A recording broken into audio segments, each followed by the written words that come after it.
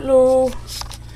Well, I'm going to do a video really quick on saying that I have tried to make videos with Windows Movie Maker and Windows Media Player.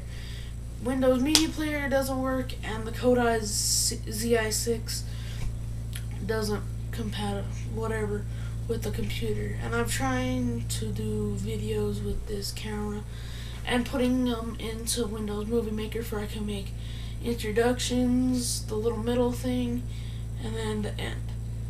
And if you guys see my video, lake is like right down here. Uh, it didn't work. It didn't. It wasn't even my lake. I've. It was just pre-installed on the computer, and it's just crap. So that's why I wanted to do that video for I could just test it and see how it would do and then I could make a video and put it on Windows Movie Maker and it didn't work. I know the the thing is plugged in. It's all this. Okay, enough about that. That just made me mad. Oh, and if you guys have any questions, just post them down here. I'm gonna be doing question and answer video. If you guys send me some actual questions.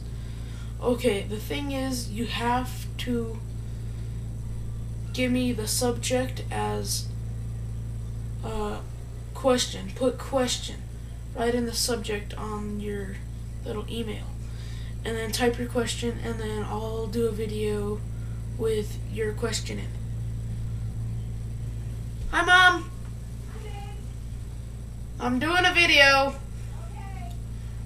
And that's about it and I seen this game Infamous. That game's really looking awesome.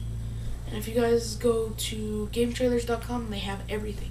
They have all the games that are coming out.